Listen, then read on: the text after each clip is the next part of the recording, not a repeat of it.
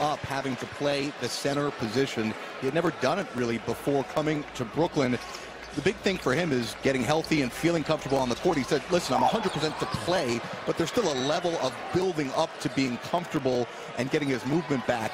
He said he's starting to see glimpses of where the movement, running. He's Love his answer. Ben Simmons is part of that, part of that mix when you talk about defending the opponent's big man. Yeah, there's a lot of people who are surprised that Sean Marks has not gone out and made a move in their future as possible to try to build this winner.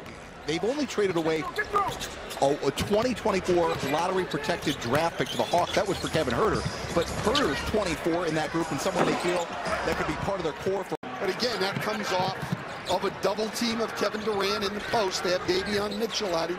Lyles comes to double. Durant looks over the defense, skips it to the weak side. Kevin Durant is literally creating almost every shot for the Brooklyn Nets.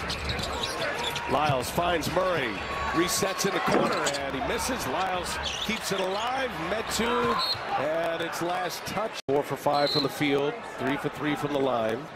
Sacramento has not got Malik Monk involved until now. He has...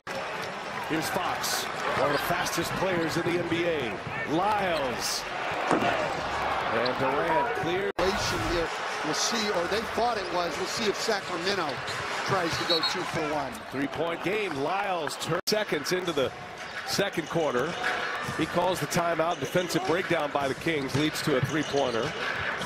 And first possession of the second quarter for Sacramento here. Brooklyn on a 14-5 run.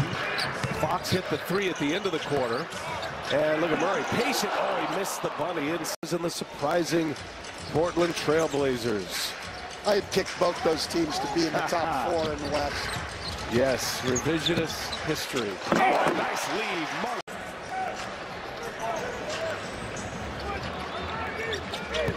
Huerter back on the floor. And now Monk open for three and a offensive. Here it is, and he definitely moves and catches him with that right elbow. Not used to being in that position on a guy like Seth Curry. It's one thing to switch and guard the dribble. Monk can't return the favor. Mills on the run. Taking on three Kings. Gives it up. Ah! Oh, blocked. And that's going to be a jump ball. Joe Harris. Nets need him desperately. Absolutely, and he led the league twice in three-point shooting as Simmons, with a great steal, almost gives it back. And he looks good, but he went for a no-look pass, a little razzle-dazzle, ended up turning it over. Mentioned the Kings are among the league's best in deflections, and they get them a lot. That's over and back. Predicted there would be a quick hook somewhere, and it happens to be with the man who's taking over the point guard duties, minus Kyrie Irving, who is missing his seventh consecutive game. Fox fakes it, and out it goes. Claxton and Sabonis. Sabonis comes away with it. Too strong in there. Sabonis running the break. Leaves it for Barnes. Now Fox, little pull up. That's a spot. Left elbow. Watanabe in the corner. And Davis comes away with a rebound. Doing it all. Six boards now for Davis. Inside, Sabonis. Sabonis lays it in. And a foul.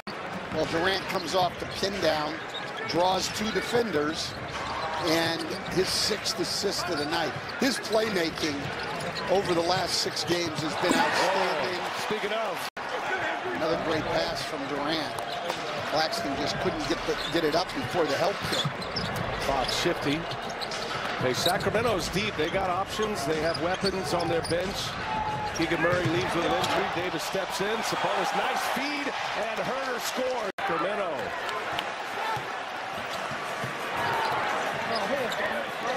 Davis for three. Why not? Brooklyn has turned it over 11 times, turned it into 15 points at Sacramento. Durant with 25, so he's scored 25 or more in every game this year. Keeps that streak alive.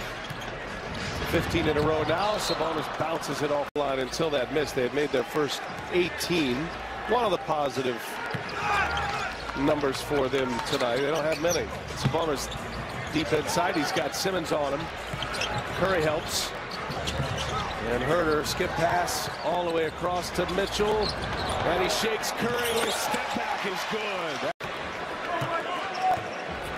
The voice of the Sacramento Kings, Mark Jones, will have that Celtics Hawks game tomorrow. Calls the Kings games. And uh, man, we got a great team this year to follow. Looks like they'll have a chance. It's going to be a fun team to follow all year long to see if they can erase that. As Lyle, he's looking for a foul, defended well by Alcala. Here's Sabonis now. Playmaker gives it to Huerter. Three-pointer. Oh, why not? And how about the Kings? Seven of nine from three-point range in this quarter.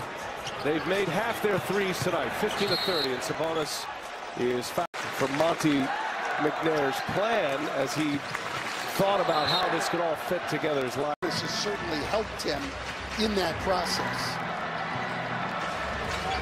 Davion Mitchell.